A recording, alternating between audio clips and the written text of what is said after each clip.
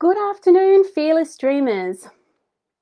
This is actually take two of today's live. I've been experimenting with some new technology, and the first technology, first go with new technology didn't work. So here I am. Today I'm here. I want to talk to you about your comfort zone, how it's actually formed, and why the older you that you get, the more dangerous it is to actually stay in your comfort zone. So, most of the time, when we're taught about our comfort zone, we're taught this is us. Not saying you're a purple dot, but this is just the example. And this is the comfort zone that we exist in, and everything we want in life is out of our comfort zone.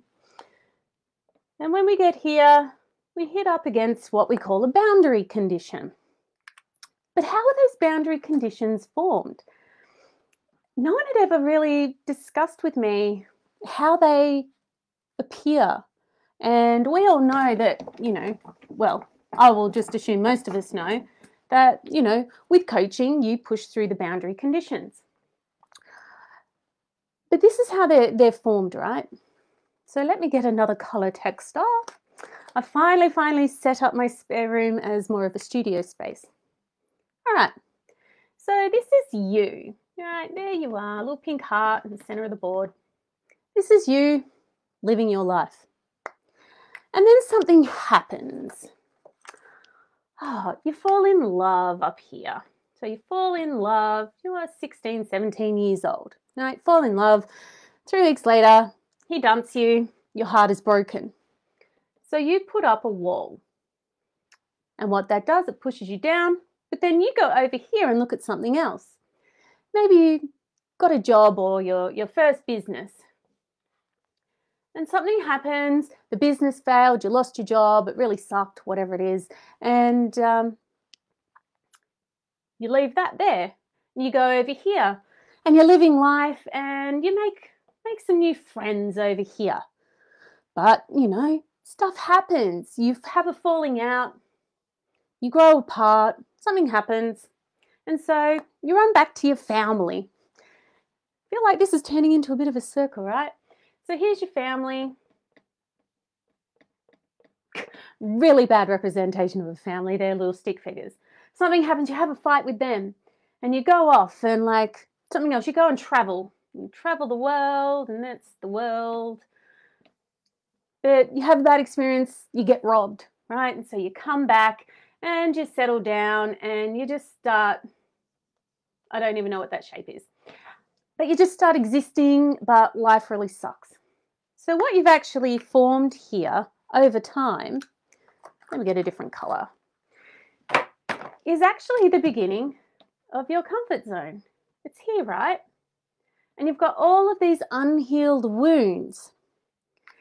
And you're living in this space. But then you go back and you're like, oh, well, maybe I'll have another go at romance something happens, that's a broken heart there. So you put up another wall. You invest in some, some study. This is a book. Invest in some study. That doesn't work out. You have another fight with a different friend, another rule. You've made up with your family. Things might be a little bit uneasy. Another wall comes up. You've given up on traveling, so maybe you just go on a short holiday ah, it's disappointing. Like you feel let down. Life starts to happen, and then your boundary conditions start to become smaller. And something else happens in here as well. The older you get, the more risk adverse you become. So, going out and meeting somebody new again, having your heart broken again, the risk is too much. So, you stay alone, and that makes your boundaries smaller there you stopped studying because it didn't really get you anywhere. You didn't make any money out of it, or you know something didn't work. And all of a sudden, another fight with the family, or you know whatever. And all of a sudden, these things get smaller, and your world actually starts to shrink.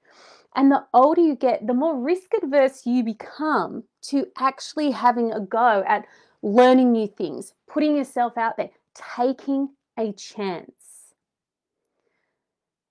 life becomes a lot more dull and a lot more contracted, and you keep contracting.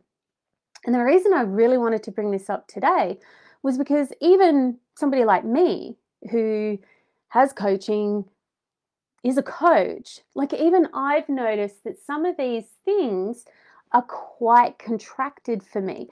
One of my coaches actually said to me, he goes, From when I met you 10, 11 years ago now to where you are now, you're not as much fun. And I was like, wow, I'm actually not. And a really, really good example of this is the internet and YouTube.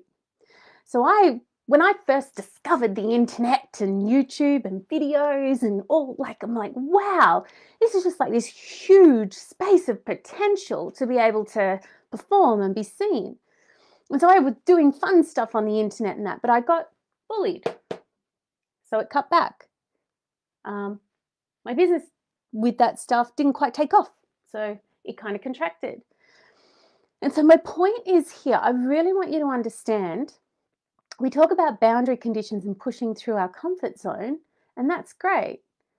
But are you understanding why? And the older you get, are you understanding that it's harder to do? It's harder to do on your own, for sure. And I really wanted to bring to your awareness that if you can look back and go, you know, grab out that wheel of life, the 12 spheres of life, or whatever it is, um, and, and have a look at that and go, yeah, I'm not traveling, I'm not having fun, I'm not investing, I'm not taking risks, I'm not doing things that make me happy because I'm sitting here thinking, but what if it doesn't work? Chances are something that's happened and happened to you at quite a young age that has been compounded over the years because it hasn't been healed, that's one of the reasons your comfort zone is contracted down into this tiny space and you feel contracted and you're struggling to push forward through your dreams. And so, this is where it is really important to start challenging yourself and start looking at these spaces and going, where do I need healing? how can I move past this? How can I bring that fun and enjoyment back to my life? Because if you want to dream fearlessly, these things need to be taken care of, need to be released, healed, acknowledged, whatever it is for you. So your comfort zone can expand, or you can actually break those boundary conditions. And the things that are out here that you really want you're actually not afraid anymore to take a chance. So here endeth the lesson. I hope that helps. Um, hashtag replay in the comments and feel free to pop your questions in there. But even for somebody like me, I was just like, yeah, you know what? And this was a conversation I had this week. And so this is why it's like, yep, studio's set now. The restreaming thing, yeah, it's got a little hiccup. We'll work on that and fix it. Um, everything is fixer-upperable. But that's why I was willing to take a, a chance on the restream, a chance on this, and just have a go. And so today, this weekend, next week, in the future, really start challenging yourself to just have a go. Even if it's little baby steps, little things, right? Because your dreams are out here.